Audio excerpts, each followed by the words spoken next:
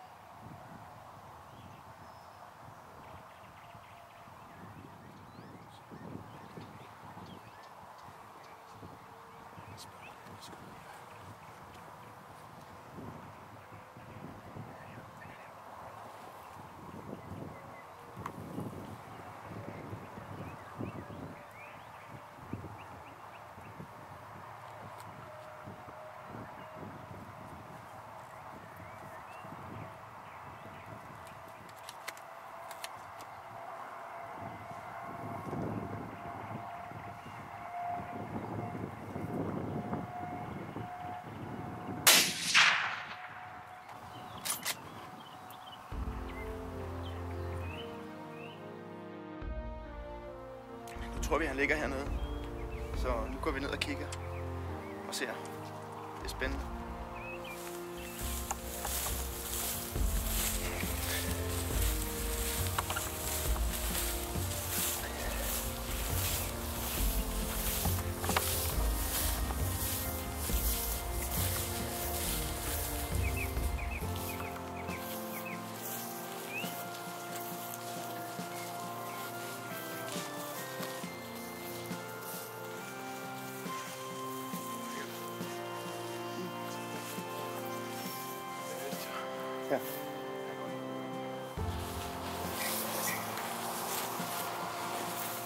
Fedt.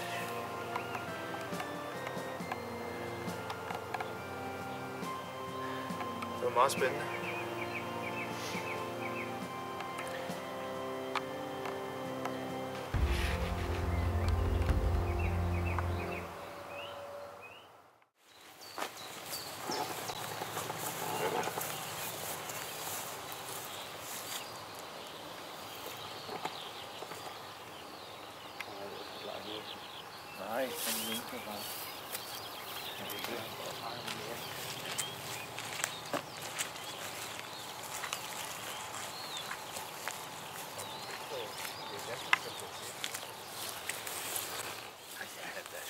Skudt med chancen har budt. Vi har fundet god svejs over ved skudstedet, og øh, så har vi fundet svejs hele vejen ud til kornmarken. God, mørkerød øh, svejs.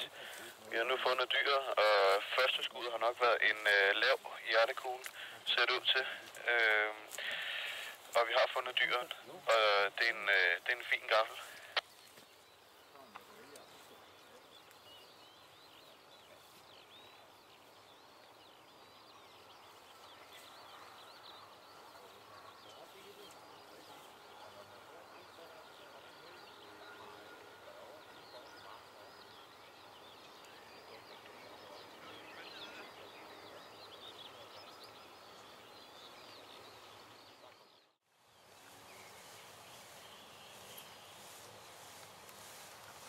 Det var spændende. Ja, det er selvfølgelig spændende, så selvfølgelig bare så højt der. Jeg tror, I godt kan se, at jeg fik bukfeber der. Jeg kunne bare se selv, at jeg stod og rystede kameraet der. Så. Når du har afstand, Ja, han tog mig aktiv. er det fedt. Godt. Øde godt, Morten. Det er ikke for det. Helvede, Morten. Det var Det var spændende. Det er en, det er en råber. Ja. Nå ja. Vi stod og kiggede længe, Nå, så bytter vi kigger det igen. På stykket, det er det sidste, jeg ser til den. Og der bliver den så gemt bag det træ derude. Det var Og så kan jeg ikke se den mere. Og så kunne jeg så se harerne ja. fremover. Men så så den ikke mere. Tillykke, Lise. Det er fedt. Ja. En regnværsbog. Ja. Drengene havde givet op. Ja.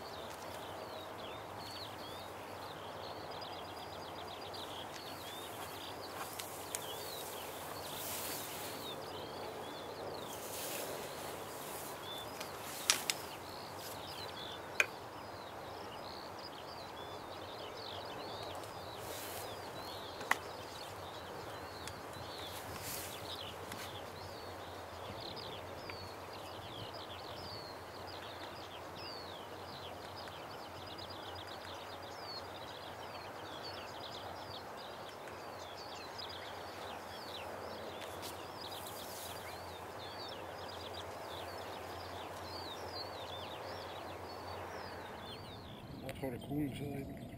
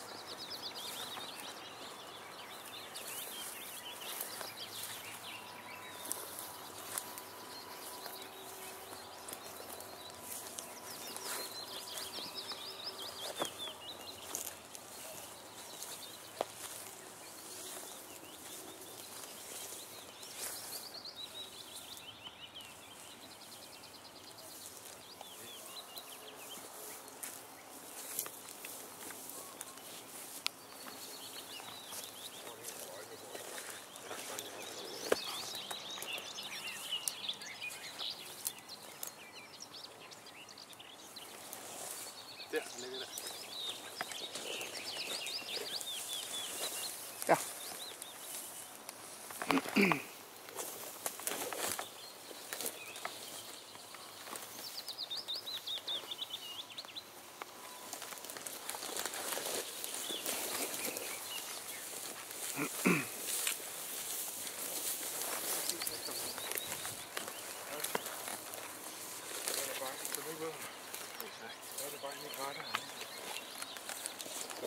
Perfekt, perfekt jagt. Men det var da jeg sagde på sejsen op, når jeg så rød sejs, så den er. Ja. Og den er blæst ud af den. Skal jeg tage den? Også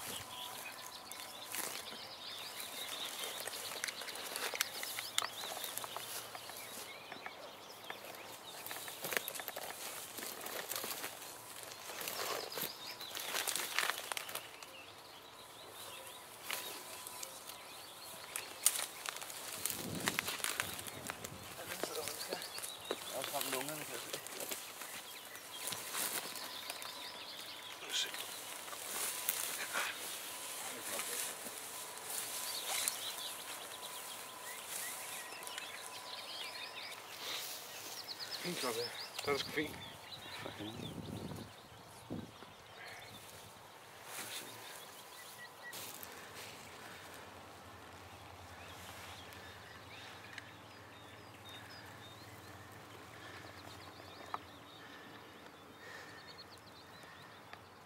Så endte der en god morgenpyrs her. Jeg startede med at se ham øh, på hjørnet heroppe, hvor jeg så ham i går. Og desværre kom til at skræmme ham. Så øh, kunne jeg se, at han gik herop imod. Kørte jeg herover, kørte mig op langs skældet heroppe af. Og så kunne jeg se, at han stod og, og spiste af, af træet her. Og så stod han, øh, han stod længe med røven til mig. Og så lige pludselig så, øh, så vendte han siden til. Men øh, det var svært at komme til, for græsset er højt, og der var nogle kviste og sådan lidt. Så gik han to skridt frem, og så, øh, så skød jeg. Og så løb han øh, direkte mod mig, cirka 10 meter. Og så forsvandt han ind i, ind i krattet. Og der lå han derinde, cirka 5 meter ind i krattet. Og øh, han faldt for en, en god kugle, vil jeg sige. Og øh, jeg synes kraftigt, at han er flot. Så det var sgu en god morgen.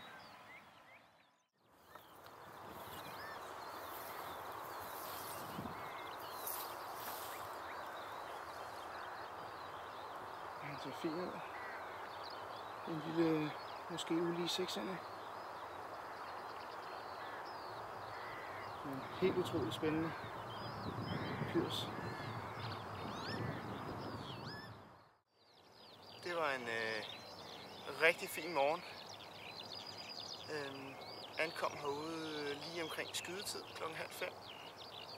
Og pyrsede mig op øh, langs sprøjtesporet, hvor mig og Nuller sidste gang havde held med os. Vinden var, øh, var perfekt, så derfor satte jeg mig derop igen. Og øh, jeg så rimelig hurtigt en øh, lille gaffel. Næsten samme sted, som vi øh, så ham sidst. Og øh, den smuttede. Øh, den gik om bag nogle træer, og så kom der øh, en landbrugsmaskine, som øh, jeg blev nødt til at flytte mig fra. Øh, og der troede jeg egentlig, at mine chancer var, var forspildte. Og efter en halvanden time, så vælger jeg at pyrse efter ham. Og da jeg er lige ved at, at vende om faktisk, så ser jeg ham øh, stå måske halvanden hundrede meter op ved et træ. Jeg kan kun se hovedet. Og græsset er så højt, så jeg kan overhovedet ikke komme til at skyde. Så jeg pyrser mig længere til min vinkel er, så jeg kan få en god kugle ind på ham. Og det er 60 meter. Og han gik ned i skuddet og blev liggende. Og det var jo bare rigtig dejligt efter, efter lidt brøvl med, med kikkerten. Men øh, han er her, og jeg er nået at få lidt bukkefeber igen, og øh, livet er bare fedt. Så der er han.